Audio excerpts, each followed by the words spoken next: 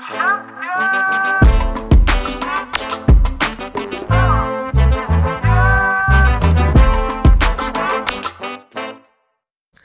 and welcome to MotorInc First. Shumi has been out and about on a racetrack riding two Yamahas, which I am um, very keen to know because I'm sure this is going to be a complete surprise what these bikes are like. Absolutely. We've never seen these bikes before. Never before, right? Never. Brand new.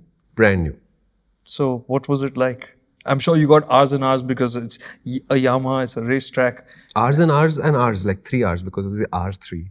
Ah, nice. Three hours is a lot, man. That, that's No, no, no. Okay. Okay, let's set context here. All of what he has said is not actually true. Okay? Uh, It's very affordable. price we'll discuss last because it'll completely skew this story and I refuse to have this story being skewed because these are two good motorcycles with issues. Okay. First, the R3 is not new to us because Yamaha has not internationally globally updated the R3.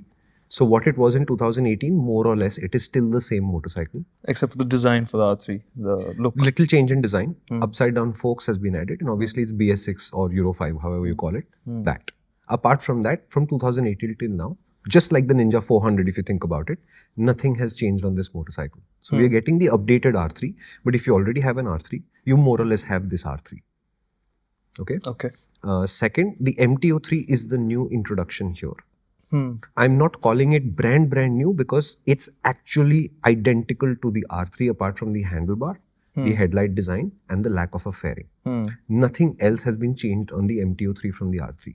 Gearing is the same, seating position, except for the handlebar is the same, etc. etc. Okay. So, is there a difference in the riding uh, experience? Yes. But is there so much difference that you can call the MT-03 a brand new introduction to this country? In name, yes. Hmm. But uh, it's effectively the R3 with a slightly different setup. That's all. And we got 15 minutes on each motorcycle only at the Buddh International Circuit. So, whatever we are telling you now is I have experienced it only in the track environment for a precise 15 minutes each. Okay. So how do we go about this? Um, I You can summarize it. Okay. Um, didn't I already do that? okay, these are two great motorcycles with parallel twin engines, which we've always appreciated for how tractable they are. So they're great for everyday use, great for touring, great top end performance, all done in one clean move. So it's friendly, it's fast. It's a, I mean, I'm assuming based on the R3 earlier, great handling. Um, so really a, a super all rounder. Um, and those who have it will enjoy it for years and years because they are built to Yamaha spec. So they, nothing really goes wrong with them. Yes, and you will also have it for years and years because you would have spent most of your savings acquiring them. But we will come to that at the end. Okay, we're not going to discuss price yet. Eh, Somebody's jumping the gun here, huh? No, no, no. I'm just setting context. Okay. Now, what you should know about the R3 is that it is, as he said, a really nice motorcycle to ride. It's uh, top end D, the engine, but it is a smooth linear engine. So it builds up to it and it builds up very nicely and smoothly. So if you're a learning motorcycle rider trying to go to the track and exploring that side of the picture, the R3 will make a great track motorcycle because it's an international model if you have the means you can find a lot of upgrade parts for r3s very easily all over southeast asia it's what a lot of the indian racers already do i met one of them at the airport yesterday as it turns out and he said he's really excited about the r3 because now he can go to yamaha buy the upside down forks and upgrade the suspension on his current r3, R3. race bike Oh, because all the other uh, engine performance parts is already sourced from southeast asia and has a reasonable fast bike out of it all right. right? The handling of the R3 has always been epic. It's a sweetheart. You can make it do almost whatever you want. And that's true whether you know what you want from it or not. Because, like the R15, it upgrades and gives you that sense of forgiveness. So, you can make a mistake, it allows you to have a mistake, have a moment, doesn't scare you immediately, and it's really, really sweet. I remember the R3 launch back then, 2018, uh, was also at BSE. Exiting the final corner onto the main straight, the rear would just go out from under you. The hmm. tires, those MRFs were very un-MRF. These are not MRFs. So the last time it was a CKD import, if I'm not mistaken. So there were Indian parts on it, including the MRFs you refer to. One MRF has actually changed a lot in that intervening period, and their new steel brace tires are actually regarded very highly. One. Second, this is a CBU import from Indonesia. In the process of which I figured out that we do have an FTA with Indonesia hmm. also. Yamaha India told me that they get the same taxation advantage or rate as they get from the Thai FTA. The R3s are made in Thailand, but they don't have the capacity to supply India, which is why they're being sourced from Indonesia instead. This is all new information to me, and honestly, I haven't verified this information. I don't know if the tax structure is exactly the same between Thailand and India, Right. which might have something to do with the price, which we'll discuss at the end. But what that also means is that the tires are Dunlop Sport Maxes. So in that sense, there is an upgraded tire on this motorcycle. And I wouldn't say that I rode really well because to me, usually that is the second session at the racetrack, not the first one. But even in the first session, whatever mistakes I made while I tried to remember my lines at BIC, I didn't think that the tires were the limit of what I was doing. The tire pressures might have been Okay. because it was a reasonably cold morning, but I was going reasonably quickly. Mm-hmm. And I think 2 psi under is what they were running for mm-hmm. this entire group. And I don't want to upset that process. Maybe I would have preferred a little bit lower tire pressures and I would have had even more confidence in mm-hmm. the bike. But what I really like about this chassis, it goes where you point it, when you point it, it does those things, and it always feels calm. Hmm. The R3 feels like a natural extension of what you think should happen on a motorcycle. Hmm. And that sweetness in that aggression hmm. is something only Yamaha does. Right. okay? It- so it, it you are able to ride it aggressively you are able to ride it accurately and at the same time there is a sense of there is room here to make a mistake and recover from and not to worry too much and it's a very very nice powerful emotional riding experience. It's like a guiding hand. yeah it's like a guiding hand. And the MT-03 is thankfully very similar same tires same brakes everything hmm. you sit upright so your sense of connection is a little bit lower hmm. the problem with the MT-03 is the strangest one the tank is a different shape from the R3. There are knee recesses which are sort of like this, and your knee goes under the recess. The recess actually protrudes downwards quite a bit. So I struggled to find place to put my feet in between the foot peg and the knee recess. I found the room to be restricted. So the seats, not a problem. The handlebars, not a problem. But at six foot, I had a struggle getting my feet to fit in. And once they did, then I felt sort of locked into that motorcycle. So that would not be a problem for me as I'm short. Yeah, so if you're a taller rider, and I'm going to guess 5, 10, 11 plus, you'd want to take a test ride on an MT-03 for sure to make sure that you fit because moving foot pegs is an expensive proposition. It can be done, obviously, but it is expensive. Because the R3 is a race bike, there will be rear sets available quite easily, Southeast Asia, not India, maybe. So you can move those foot pegs around, but it is going to cost you money. So just verify that you fit before you take on the MT-03. And have uh, Yamaha spoken anything at all about accessories with this bike? Uh, on the website, there is a taller screen or something like that, some small things. I'm no longer taking the Yamaha accessory setup very seriously because in the Aerox's case, there were the extra suspension, etc. And I don't think anybody managed to buy it from Yamaha directly without considerable amounts of chasing the dealer to be able to place those orders and stuff. Until Yamaha gets serious about it, I think I'm going to assume that you have to go to the aftermarket. I'm sorry, man, but can I take Yamaha seriously? They've called you all the way to BIC and give you 15 minutes on each motorcycle. No, look, uh, to give credit where it's due, this event wasn't supposed to happen at all. Right. uh, two things happened. One is I think Yamaha took a bunch of journalists to Thailand where they rode around and they filed the stories before everybody.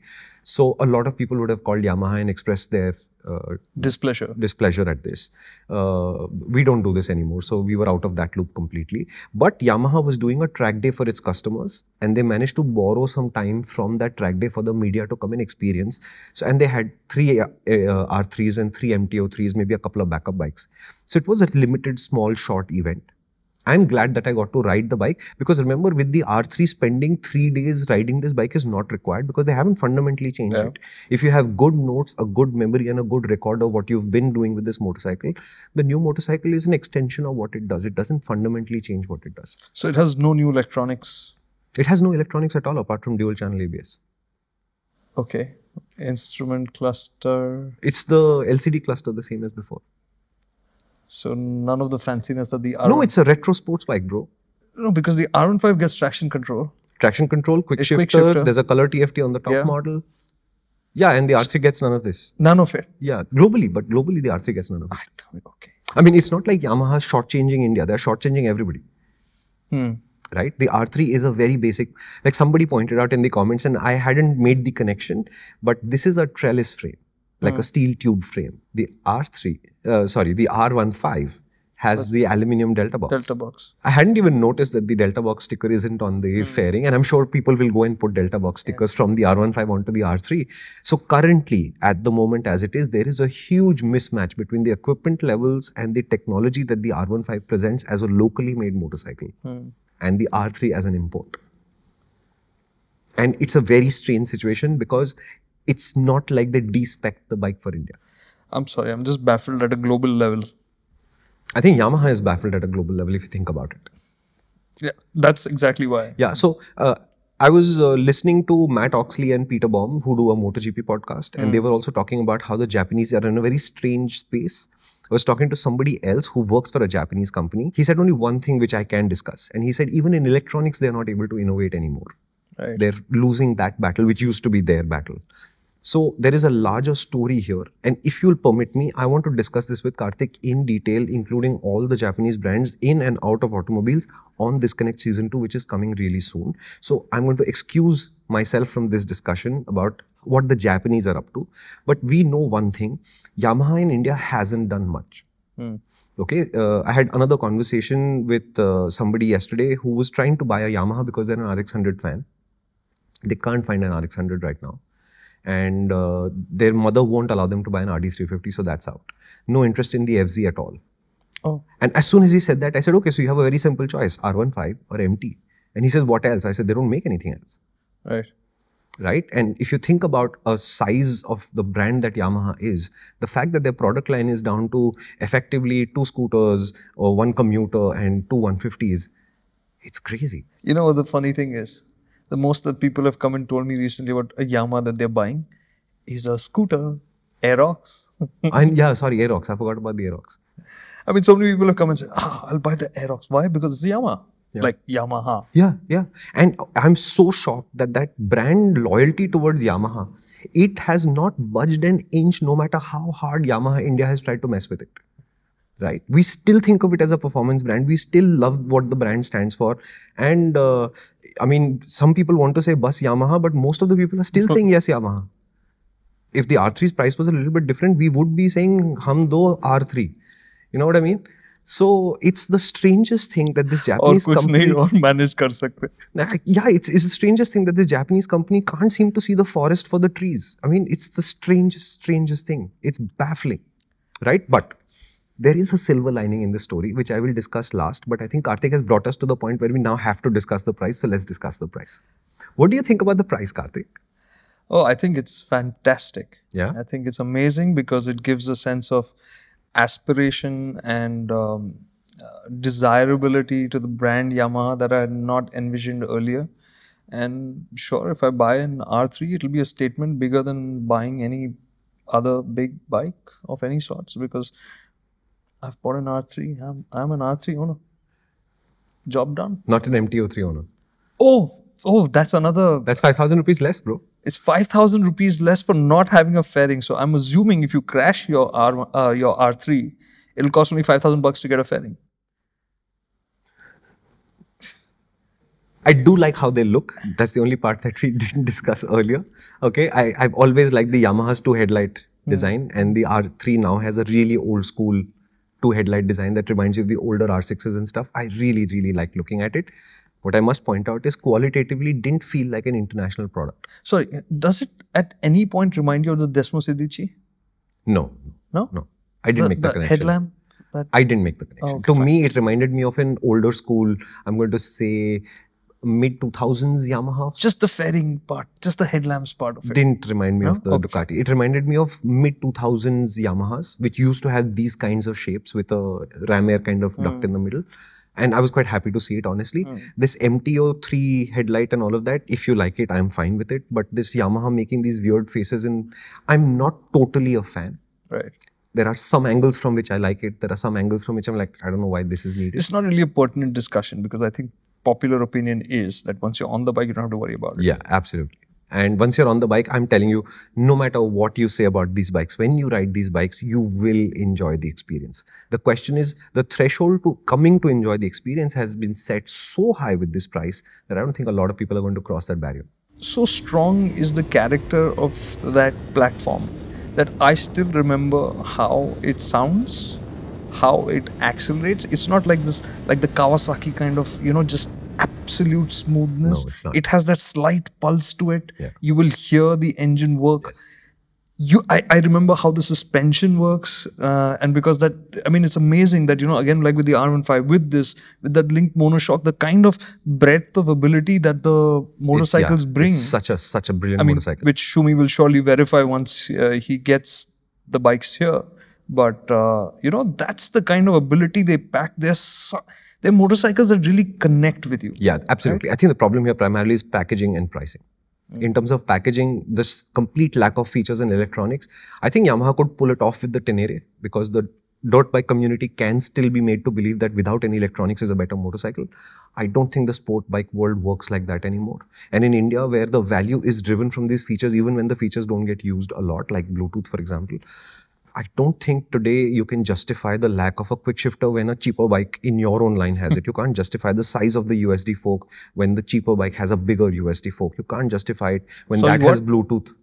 Yeah, the R15's USD forks have a larger diameter than the R3's. Yeah, so it's a very strange situation. Then comes the question of price. Luckily, we have the Ninja 400 holding, uh, actually, no. Luckily, we have the ZX4R holding station as the stupidest price on earth at 10 lakh rupees for a 400. Below which is, below about half that is the Ninja 400, which is 5.24x Delhi, uh, which will be replaced by the Ninja 500. Let's see what the increment on that is because I think Kawasaki can certainly raise the bar on this. They have shown the ability to do it. Below that is these two Yamahas at about 4.7 lakh rupees.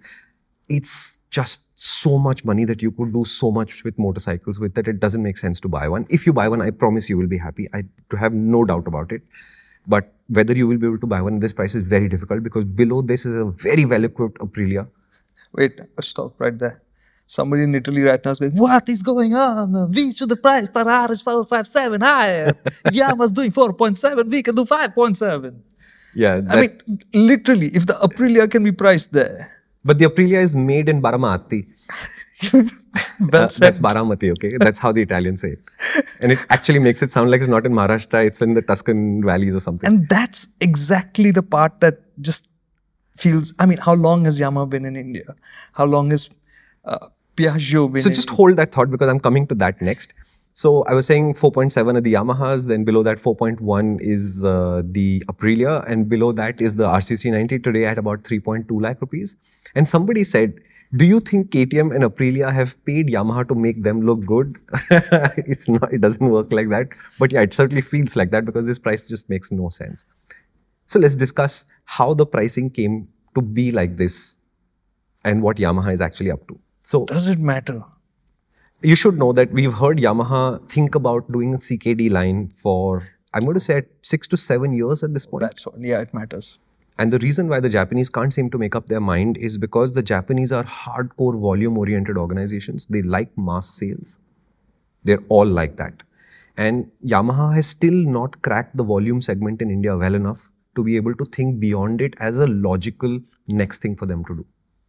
You know, it's like a to do list where until you do item one, how can you do item two? And they're stuck at that. And all the committees inside Yamaha who are trying to decide and make this decision all seem to be stuck at it. Now, there is a silver lining. I am told that the current CEO of Yamaha, his name is Chihana-san, I think, I'm not sure, uh, that he is a decisive Japanese person who has decided that Yamaha must push into the premium segment and we don't have a choice about it anymore as Yamaha India. So what I am being told, and I'm hoping that this is true, both my fingers are crossed to the point where they're hurting right now, is next year, 2024, we will see a reinvigorated Yamaha, which will push much harder into the premium segment. I'm sorry. what- Maybe. What, does that mean? maybe with a CKD line with certainly a lot of products. Let me temper this for you. I have heard this before. I would like to see it done this time. I am told that this new CEO is capable of achieving these things. So I'm going to, for one more time, give a little bit of faith and leeway to Yamaha and say, okay, let's see it. I like it that the shoe is on the other foot this time around. I am not buying any of it. Yeah, yeah, at these prices, I'm buying none of it either. Okay, so the MT-07, R7, I'm told all of that is at least a year away. It's not going to happen anytime soon. And that will come through CKD. There's no other reason why it should take a year, is how I am solving this. Yes. Right? Otherwise, I mean, the only reason why it would take a year for a CBU MT07 and an R7 to come here is because there's 35 Japanese engineers walking the bikes from Indonesia to India slowly, one step at a time. And Yeah, and they can't use the engines because they're brand new. There'll be zero on the clock, right? yeah. it'll be swim. yeah. So I am assuming that this year before we can get the 700s is because the CKD line has finally been uh, greenlit or whatever. I'm hoping. Hope. Hope. Uh, okay, fine. right? But honestly, what we've seen Yamaha do in India for the last eight or 10 years, I think we should almost be calling it done. Okay. So this is where we are at. If you have any questions, leave them in the comment. But we have your questions. So let's get into user questions because I think this time we've got some really good questions. I'm really happy to see these. Okay, from the user questions, there's Shivraj Sahu. Hmm. What constraints does Yamaha face that they can't locally manufacture motorcycles when brands when brands like Aprilia can? So remember that Aprilia has not really done a CKD line. They've had a very small CBU operation for the RSV and the Tuono, etc. But they've had the Baramati factory for a really long time, and that factory was built with a one and a half lakh installed capacity, if I remember correctly, which they are nowhere close to using for absolutely years together For the Vespas. right? So if you think about what Aprilia has been able to do, they are actually behind their own schedule because they have created motorcycles for India. The market has moved on. They've had to reject those projects and restart. The RS457, if anything, is years behind where it should have been in the first place. Now they know that they can make it in India at that quality level. They can replicate the Duke uh, program in that sense and then export this bike a lot and sell a few of them in India. And that will be the gambit. Yamaha has never made those steps at all now they are still in the loop of making that decision saying should we really have a CKD line or not Yamaha needs to realize that if they're going to be successful in the world's largest two-wheeler market they're going to have to play the volume game which they are terrible at but they also have to going to play the premium game which is naturally theirs for the taking. They just haven't made the effort yet Rohan Daniel Isaac asks, how does it compare with the Ninja 300 and the Ninja 400? I refuse to discuss the Ninja 300. The Ninja 300 was replaced by the Ninja 400 in 2018. India is one of two or three countries left in the world where Kawasaki insists on selling this retired motorcycle. I refuse to discuss it. As far as the Ninja 400 is concerned, it's a terrific motorcycle. We have a story on it coming very soon. I loved, loved, loved riding it, and the price makes no, no, no sense at all. Alrighty then. No, uh, I'm serious. I'm serious. R3, Ninja 400, they are god-like motorcycles to ride. If you ride them, you will fall in love with them. Then the price will just be a huge slap in the face because there's no way to justify it. And just like the R3, the Ninja 400 is no equipment at all. But what a bike. What a bike. The YT Guy 95. I currently own a 2015 Honda CBR 250R, which I adore and have put quite a few kilometers on it. Would it be a sensible upgrade to the R3 from the CBR? As I'm not looking into much more powerful motorcycles at this point of time. It can be. If you can justify the price to yourself, it can be because it has all the attributes that you love about your CBR 250R. Plus, it will be more reliable than the CBR 250R because remember, as much as Honda gets a lot of credit for their quality, the CBR 250R was not one of their most reliable products in India. So, if you look at it from every side, yes, I think you're on the right track here. I would be looking for a used R3, not a new one, because they're super reliable motorcycles. Nothing really happens to them. And everything is a relatively basic thing, like suspension's basic. So getting it fixed in the aftermarket for a used bike shouldn't be a challenge at all. So I don't know, you want to spend 4.7 on a new R3 for this? A used R3 would do it. And you can use that money to get parts which you can upgrade it with. If you need to, yeah, or use it to do more miles and do more things with your new R3, as it were. User FL8VW4SN8V. About handling. Does R15's handling compare or even surpass the handling of its bigger siblings? Like power, does handling and the sharpness get better with price? Does R3, R6, or R1 handle and corner better than the R15 while being heavier? I love this question because there is so much connect between the R15 and the R3 and the R6 and the R1. And I have had the privilege of riding all four of them at pace at the racetrack. And they are all super, super nice motorcycles in terms of the aggression level obviously goes up, the ability level goes up, the sharpness level goes up. But that sense of sweetness and friendliness never seems to change right? So if you're riding it hard, I've ridden the uh, one generation before the current R6 hard. I have ridden the previous generation of the R6 hard. I've ridden cross planes, pre-cross planes, and the current R1s hard at the racetrack. They are all beautiful, friendly, sweetheart motorcycles. I can't believe that Yamaha can't nail this part of the picture because I'm honestly telling you, if one guy in your group, especially if it's a sport motorcycle oriented group, were to get one of these R series Yamahas, everybody would just follow suit. Pradyumna GUs asks, how good are gear shifts with no slipper clutch at high speeds? Uh, so the lack of the slipper clutch is obviously an issue that Yamaha has to deal with because today I think there are what 150 cc motorcycles with slip assist clutches. The slip assist clutch's primary job is to reduce your lever effort. It's not actually a performance tool. A proper slip uh, slipper clutch would give you the ability to downshift very aggressively. It's not something you'd really do on the street, except maybe in an emergency, and allow the rear wheel to rotate so you maintain control over that situation. So honestly, in daily riding on a motorcycle like the R3, I don't think the slipper clutch being missing is going to be a big deal, except for the extra clutch effort. I rode it at the racetrack. I didn't use the clutch much, so I don't have data to tell you that it was hard or not. But I suspect these Yamahas being the way they are, it's not going to be a super super large challenge. So Pradyumna, it's not at higher speeds that you need it. It's when you're coming down from higher speeds that you'll want the slipper clutch properly, which in typical road conditions, you shouldn't be getting into that space at all. Yeah. Soiluddin Muhammad had asked, uh, why do you think the R15 gets more features than the R3? Remember that the Japanese work in committees and the committee's job is to decide what happens next and then another committee's job is to decide if that committee did a good job then the third committee's job is to approve the first committee's job and then the fifth committee will actually make the solution that needs to answer the questions that the first committee raised. Then there'll be the sixth committee that will validate and verify the solutions that are actually hardware now and so on and so forth right because the R15 was designed to be sold in India, there would be a lot more decision making going on, which is specific to Indian value challenges and uh, what kind of equipment needs to be put on the motorcycle, what definitely needs to be there, what would be a step up. And they've taken the R15 to give them credit where it's due to a very high level of both equipment specification and performance, right? The R3 is a global model that sits in what is, I think, the upper end of their learner class, as it were, right? It's the 250 to 300, 400 cc class with all the motorcycles being the same price there. It's not the case in India, right? So the RC390, Ninja 400, and now the 500, uh, the uh, R3, RC390, all of these bikes are roughly the same price, right? If you look at how the global market is played, they are not as equipment oriented and feature oriented as we are. So Yamaha did a solution that seems to work reasonably well for them in Southeast Asia, America, etc. That's the solution they have, and that's what they're bringing to India. So you have two choices. One is to say, thank you so much for obliging us by giving us the choice to buy it.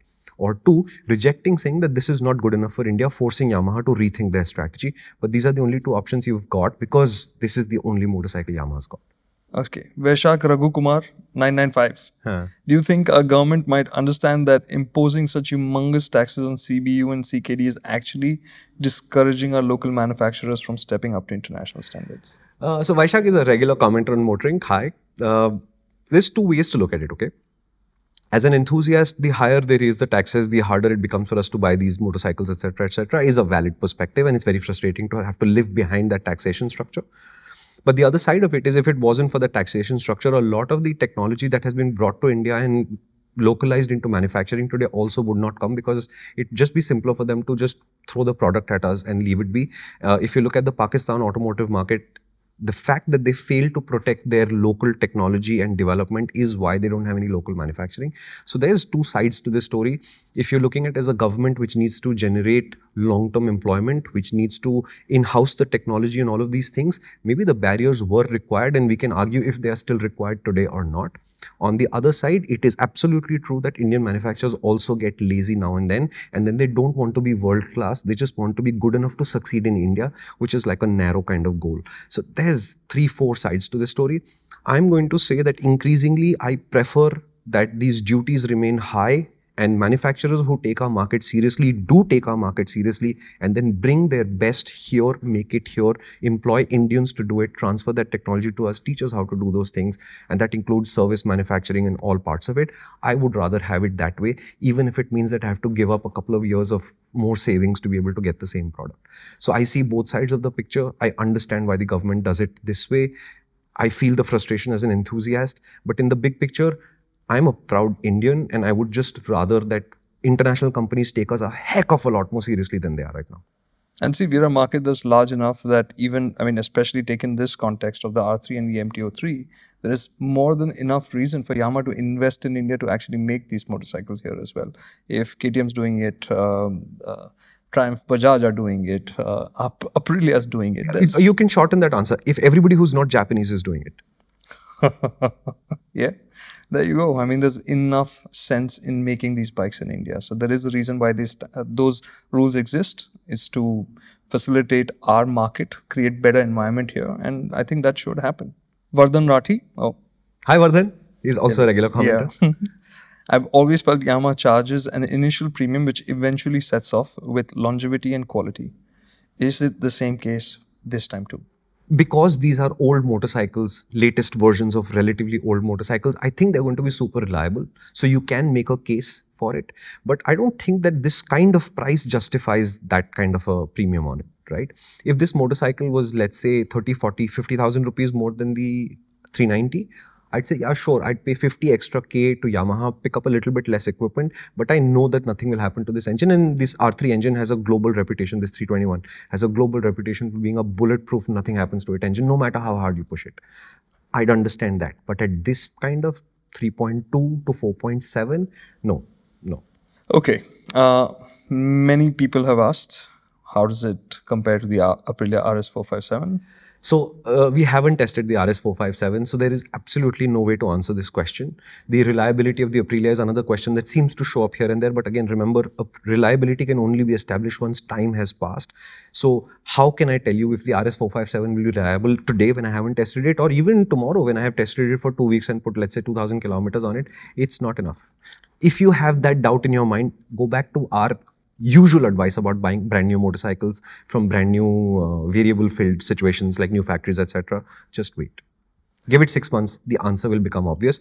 The rs457 does appear to be far better equipped than the r3 it does appear and listen aprilia makes fantastic motorcycles right? Remember aprilia is trying to make the rs457 fit into the family naturally. So the 5 457 660 1100 etc should just be a natural progression from each other just like yamaha is doing from r15 r3 r6 r1 right?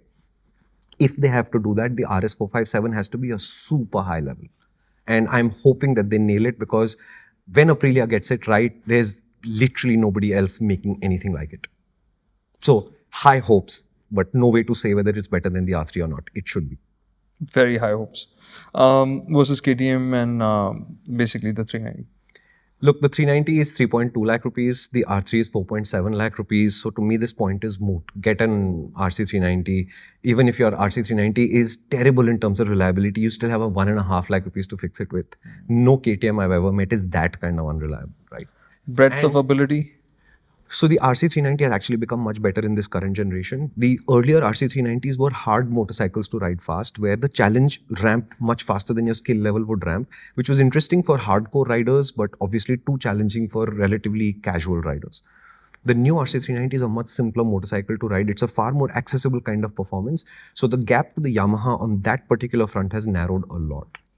That's this is 42 bhp from a twin cylinder engine with a very linear power curve that is currently 44 odd it will become 47 next year the curve is becoming more linear in the process too you've got lightweight wheels we make the chassis feel much nicer and next year chassis will be magic So let's talk about 390 Duke then, the new one. uh, the 390 Duke to me will do a lot more than the R3 in many situations in everyday riding. At the track, obviously, the R3, because of the format, will have a certain advantage. So, there is no real situation apart from you're a Yamaha fan, you have a lot of money, you're a huge R3 fan, and you must have one. That the price of the R3 will allow me to say, yes, you should get the R3. I thought uh, in touring scenarios you would have said, okay, if you plan to use this to travel long distances. So there is a question I think in that series about touring also, and let me say, if you're willing to tour on a sports bike, the R3 will make a terrific tourer because it's not that committed a riding position. It's a reasonably comfortable motorcycle. It's always had a very good suspension setup that is neither too hard nor too soft. So it already has all the elements of a tourer. If you think about the RR310, but far more powerful and a lot more comfortable both put together, you will get the R3 in that picture. Will I take pillions on this motorcycle? Absolutely not. But can you mount a fair amount of luggage and go touring on an R3? I think you totally can. I think the MT-03 will struggle more than the R3 on this front because of the space issue that your knee will cause and the fact that there is no wind protection, etc. So the R3 actually will make a surprisingly good sport tourer, but with a slightly committed riding position. That's a headline. Buy the R3 for touring. Using India as a dumping ground for stock clearance is not cool. Why does Yamaha treat India so poorly?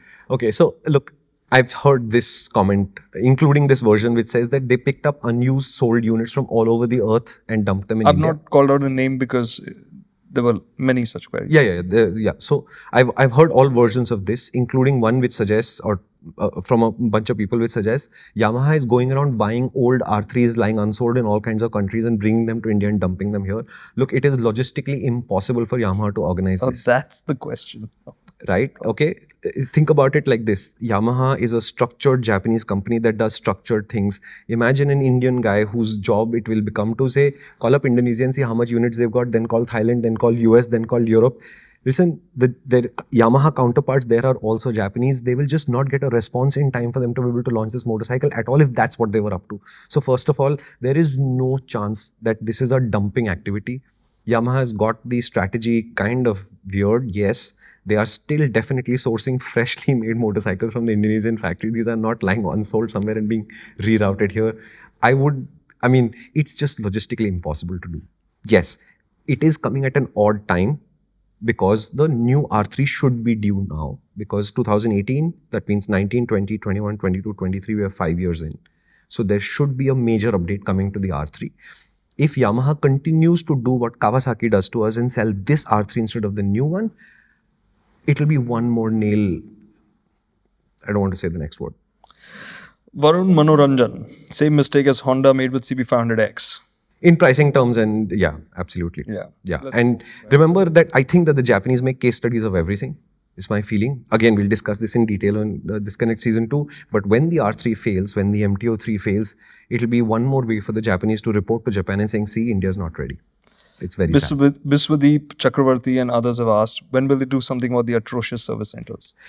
Yeah, so look, whatever we've heard about Yamaha service center seems to be a really inconsistent picture rather than a terrible picture where there are people who had good experiences and people who had bad experiences. So I'm not going to judge Yamaha or give you a verdict right now, but here's what we can do. Why don't you leave me a comment if you have a Yamaha telling us what your service experience was like?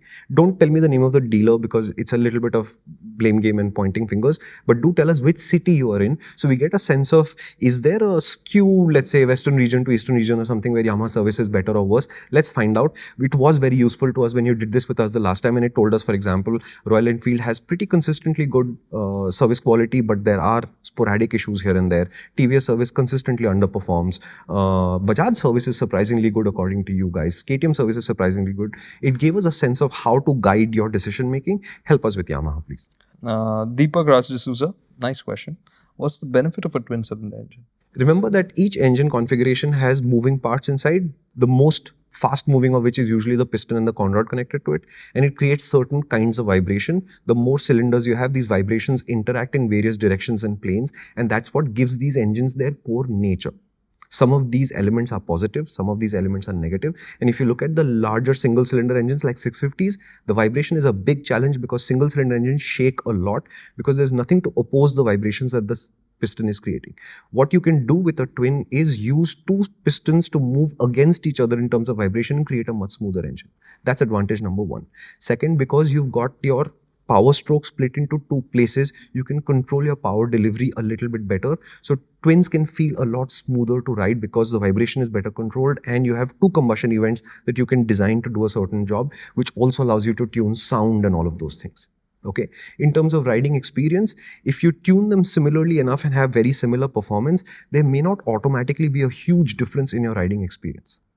But we go from singles to twins to triples to fours, etc., because we want a different feeling and not necessarily just more performance. The only way to establish this for yourself is to ride somebody's single, ride a twin, ride a triple. This will take time. This might take years for you to organize and get a sense of which format you gravitate towards. I'll give you my example.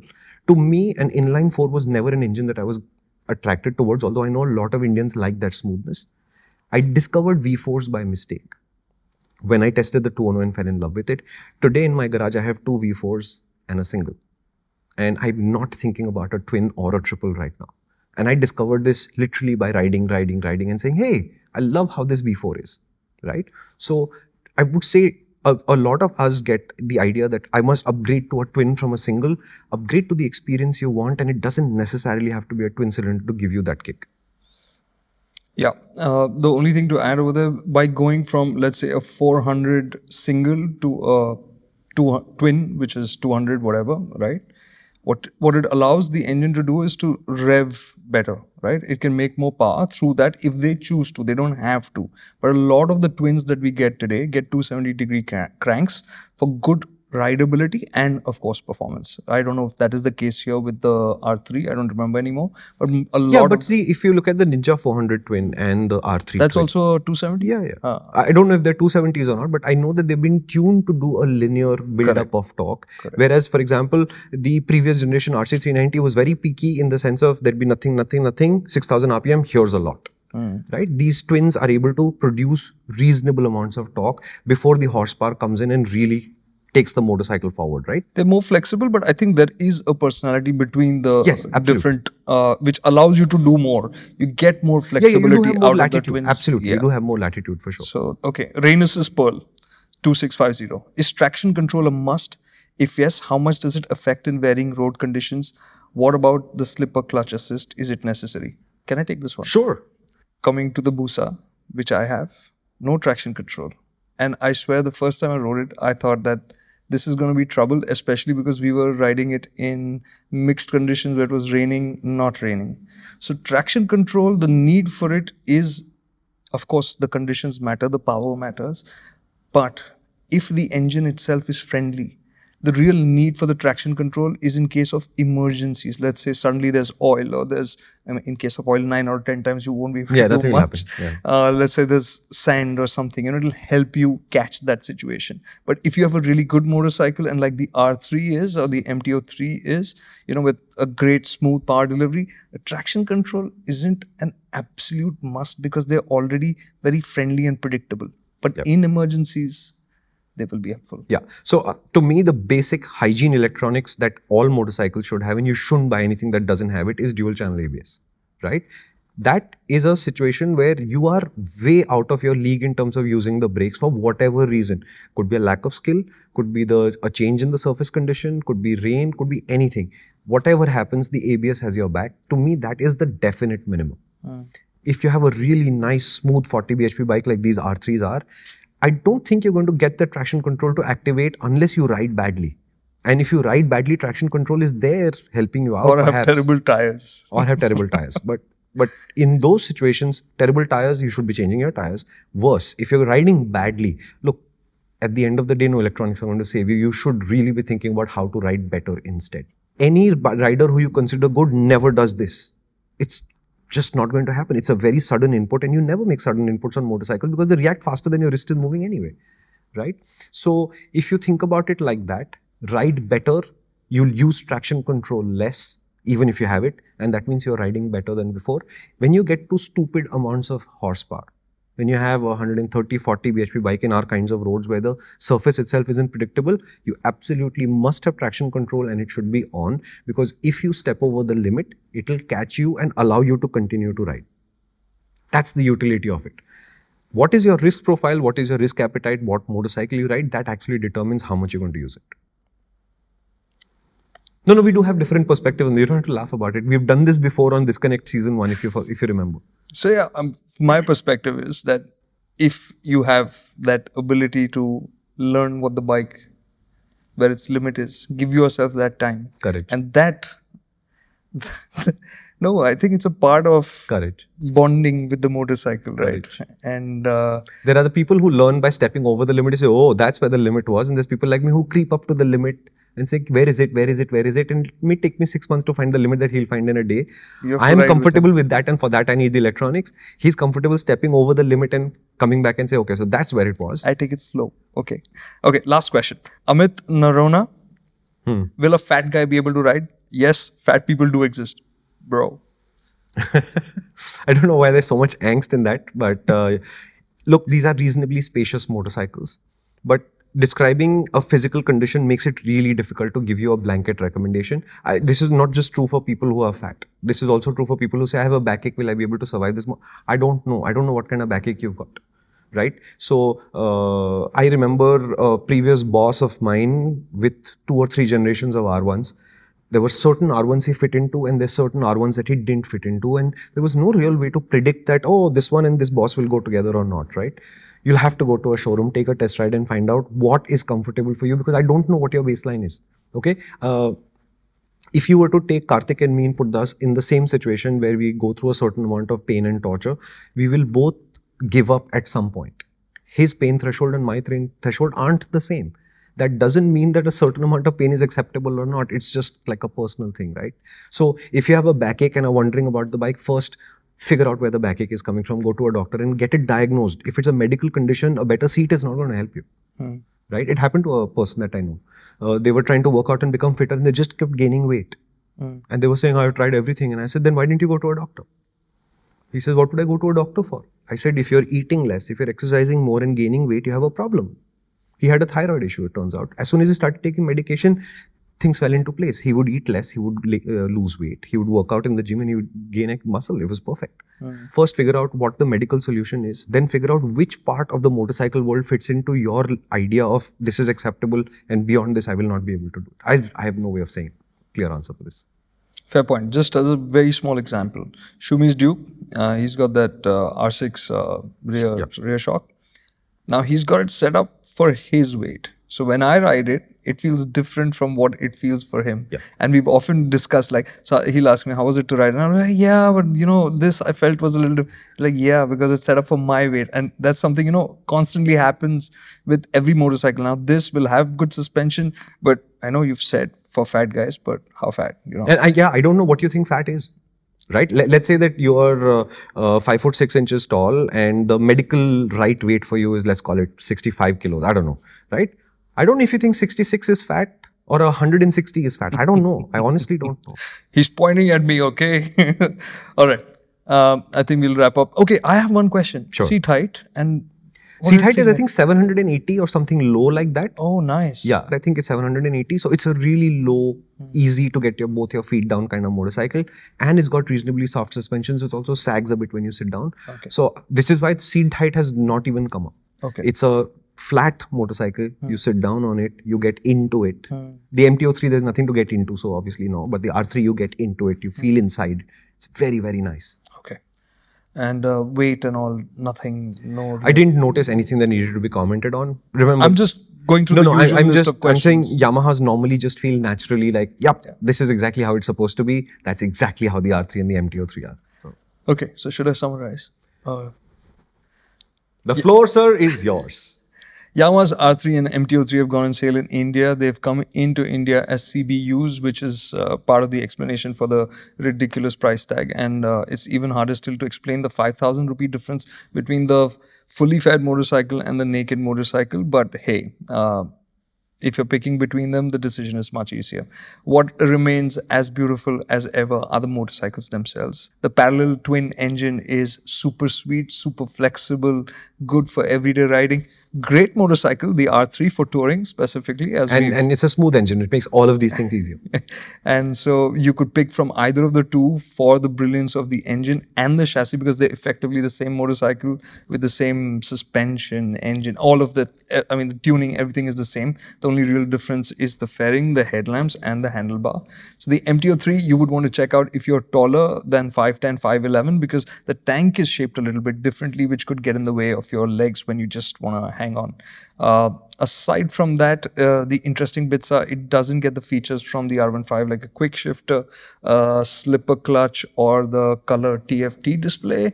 And uh, it also has skinnier for upside down forks compared to the R15, which, uh, okay, I, I still don't get. Uh, aside from that, it's still a super friendly motorcycle, low seat height, easy to manage. Uh, friendly, friendly, beautiful. I Yeah, think yeah, that's absolutely. uh, good tires. Since it's coming, it doesn't get the MRFs like it did last time, which were actually quite hard. And I'm not gonna put the blame on MRF there because I've been told that wasn't MRF's decision. And uh, oh, really? yeah, apparently they were asked for a longer lasting tire. Yeah. So n- n- non-motorcyclists working in motorcycle organizations will always cause a problem. So, which is why this time around the Dunlop, you said, right? Yeah. So those, so you'll have good, uh, good tires, good brakes and uh, great suspension, great engine. So basically, a great motorcycle that's getting a lot of flack with the stupid price tag. So here's the question that you should have asked that you didn't ask in the user questions, right? Uh, I, would like you to answer it in the comments if you can. If this motorcycle is being imported under a free trade agreement as a CBU from Thailand slash Indonesia and it comes to 4.7 lakhs uh, ex showroom Delhi, what would the price have been if they had imported it from a non FTA country, Europe, Japan, or the United States instead? What do you think the price would have been? Leave us a comment. Thank you so much for watching.